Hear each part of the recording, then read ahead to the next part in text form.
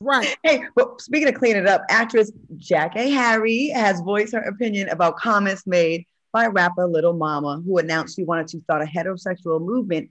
In a sharp clapback to Little Mama, Jackée wrote, the lip gloss was never really that popping. We read that last week on the show. Ooh. And then she added a message to her followers Be true to yourself. You were made perfectly.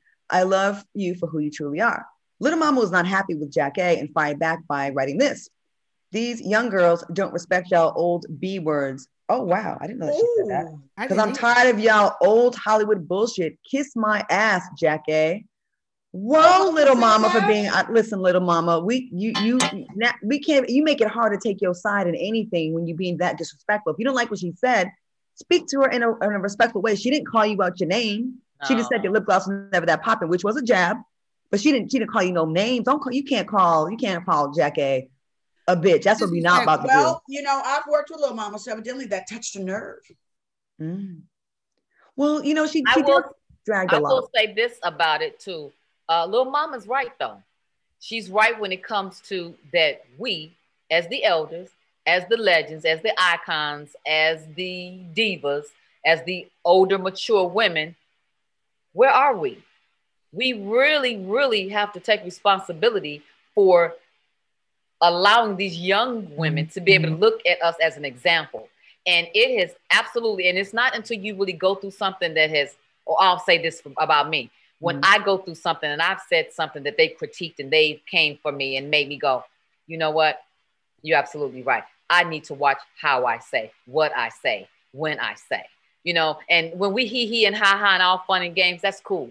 But at the end of the day, somebody paved the way for us.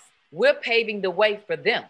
And Yes, would you we- speak to anybody that's paved the way not. for us in that manner? No. And I think that that's what Claudia was trying to get She you more wasn't anything else. you saying. You know what I mean? That it's just like, you know, trust me. Mhm. I'll be wanting to clap back some days. People come on my page and I just do a wonderful thing, block. Yeah. Mhm. Because, But you know, categorize that little mama and with with all the you you know all Thank the you. Hollywood Yeah. You know the older bitches or whatever, you know what I mean. And that's not going to make anyone reach their hand and extend to you because I remember when she stepped on that stage that time and everybody kind of blackballed her. You know what I mean? I remember that, and I, I I didn't see it, and when I did see it, it was like it made me go, "Oh no!" And she's tried to make that up ever since. And so now that you've climbed over that, because she's done some wonderful work, you know what I mean, since then to prove that hey, I have grown from that. I am no longer that same person because we do grow from that, you know. but now you can't go back and say that the old bitches ain't helped you because now it's gonna put you wait a minute, Lisa Ray though. But why do I keep seeing that because- moment right now when she Of jumped on that stage? And you just kind of went, wow. I thought it was Especially part of the with. Jay Z and Alicia Keys, both of their face was even like, and Jay Z kind of like gave a little tap on the ass, like, get your ass on off here. And you know. I was like, okay. Get doing she that. was, both. And you know, I, I gotta say this. We gotta go to break. But as, as an old bitch that she kind of grouped us all together, I'm gonna just say this.